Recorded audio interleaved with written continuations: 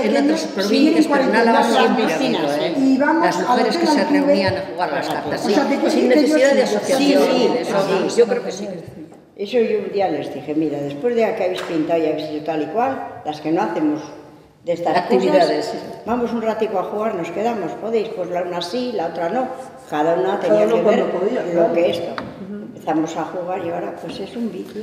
No, eso no es un vicio, ¿eh? Creo que eso jueves, es una no, forma. no, Es que de no. hecho las asociaciones nacen por eso. Las asociaciones nacen porque hay un grupo de mujeres que tienen los hijos pues rondando los 13, los 15 años, que dice, dispongo de un ratito a la tarde y ¿qué voy a hacer? Pues después de fregar, vamos a juntarnos un grupo de mujeres y ¿qué hacemos? Y empezaron haciendo pues manualidades o pintura Sí, o costura. sí. Y luego ya, pues cuando hemos hecho la actividad, nos quedamos un ratito a jugar las cartas.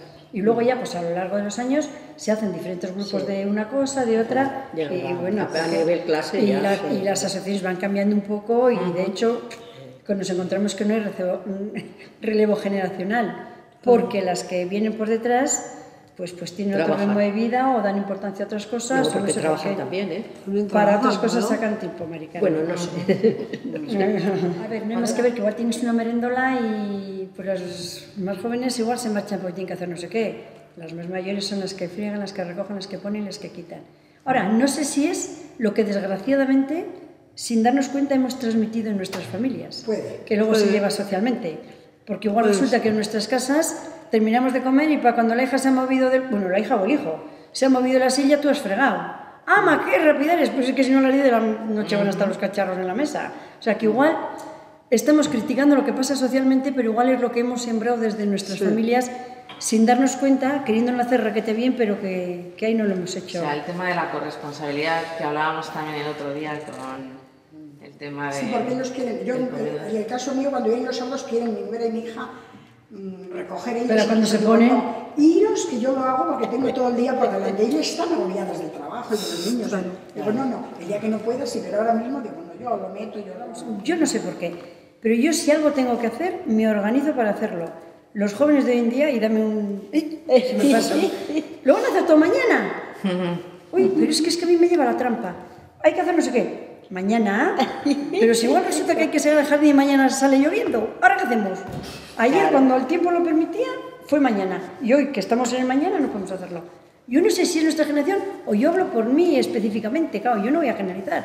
Yo si tengo que hacer algo, lo hago. Y luego ya veremos. Somos, somos- o sea, somos de otro... De otro Sí, esto, sí. pero vosotros caso sí, vivís lo mismo. De otra forma de Y es que pensar jóvenes a la mañana- gente joven. Mira, es que hay que hacer Mañana, porque ya lo haremos el fin de semana. Pero que ellos dan importancia a otras cosas que se hará mañana y si no pasa... ¿Qué? Que, dice que A ver, yo no digo que es mejor ni que es peor, pero claro, ¿qué nos pasa? Pues que las que tenemos cierta edad tenemos que convivir con las que tienen menos. Y hay veces pues que, que tragas saliva y otras veces ¿por qué tengo que tragar saliva? O sea, yo les respetaré lo que hacen ellos, pero también que me respeten a mí lo que yo pienso. ¿Por qué tengo que pensar yo como ellos? O sea, yo respetaré que ellos no piensen como yo, aunque a veces me coma los hígados. distintos Quita eso de grabar. Bendito diálogo. Pues dilo. Te los comería. Plántate. Entre claro que se lo digo. Plántate y ver, no, mira, no Ama, ya estás otra vez diciendo lo mismo. Digo, a ver, cuando me demostréis que lo habéis hecho, ya cambiaré de tema. A ver, y bueno, también y quizás por la relación que tengas con tus hijos, porque claro, si pasas de ellos, que ellos hacen su vida, tú haces la tuya, no vas a tener eso. Si él vive en su casa, tú vives en la tuya, te ves por Navidades y en algún funeral, ya está. Y no es dar prioridad o no dar prioridad, porque si fuese algo que yo me lo estoy inventando, ellos dirían, si no hay que hacerlo, pero es que saben que hay que hacerlo. Pues si hay que hacerlo, ando. Yo ahí es donde... Ya, Eso pero... te les mandas, ¿eh? pero- no, no, perdona. Pero la Mandar- Les marcas la pautas. La sensación que tú tienes porque esa tarea no se hace es de, ostras, que esto hay que hacerlo, hay que hacerlo. Es y que hay que ellos, hacerlo. para ellos no es algo Claro. prioritario. Pero igual Claro. resulta que pasa 15 días, se va no sé a dónde y por no verlo voy y lo hago yo. El hay que a mucha gente no le funciona. No. Hay que es, oye, Edurne, ¿te importaría hacer para mañana, por la mañana, esta tarea? La misma cosa, el mismo por con diferente collar. Eso es. Pero tú estás segura que entiende cómo percibes tú la sensación que tú tienes. Sí. vale, vale. Lo digo porque. No, ¿me entiendo no lo entiendo? Estás así desde que te Sí. Si estás así Pero con no eres más de, uh, sí, sí, ya, ya. Yo también soy más de. Ya, hay que hacerlo. Pues ves, aquí cambiamos los papeles. Oye, pues, Es que tengo que cambiar la hija. Eso cambia. Tengo que cambiar la hija. Tengo que cambiar la hija. Sí, yo por ejemplo, yo qué sé, cuando se murió mi abuelo, había que hacer todo el papeleo, todas las cosas, todo no sé qué, no sé cuántas. Hay que mirar esto, pues hay que mirar a ver si, yo qué sé, Sí, lo que sea, Ay, bueno, bueno, no, no, no, no. Ya, y era O sea, que que si mirarlo se mira. agarraba las orejas para llevar. Hay que hacerlo ya. ¿verdad? Sí. Sí, pues por eso cuando yo te decía, digo, es que cuento mi propia experiencia, que no tiene por qué ser como la de los demás.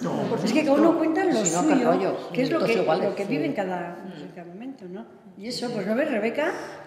Claro, lo que pasa es que yo también a veces pienso en Amaya, digo, es que esta, esta es lista, ¿eh? Porque, ¿qué pasa? Claro.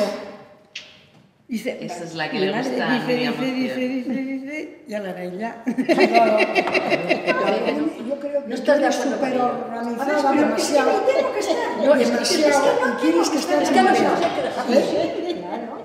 Si hay algo que hacer, que lo tengo que hacer, y me está creando una preocupación que lo tengo que hacer, hazlo y quítalo de medio. Ya, pero bueno. A ver, imagínate, te voy a decir el ejemplo más tonto.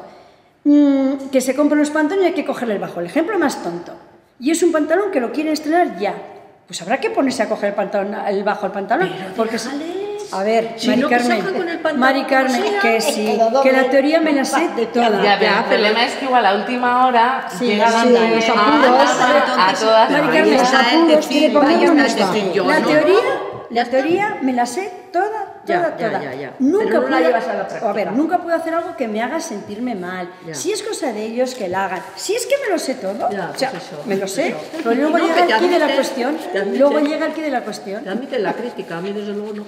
Ahora, a ver, eso no es motivo para ni para cabrearte ni para no sé qué, pero dices, bueno, ¿qué cosas diferentes vemos? Ujú, Esa es una importante. Yo no sé si es que, que ellos son así y son todos los jóvenes así, o es con los jóvenes que me toca a mí más de cerca, ni si son todos los padres co- como yo o son Claro, diferentes. No, no, diferentes. Porque y además, cada- escucha, cada, cada, persona persona, es un mundo. completamente diferente. Sí. Y hay muchas veces que no tienen nada que ver tampoco con la generación. Y contra más cerca veas, ves el pantalón. Si Tampoco tiene que ver con la No ves el generación. pantalón porque como no te va a Igual yo comentar, eso lo he contra hecho, más yo cerca... he hecho con mi madre. Los niños eran como hijos y yo también otra hija. Y entonces mi madre era la que llevaba el esto.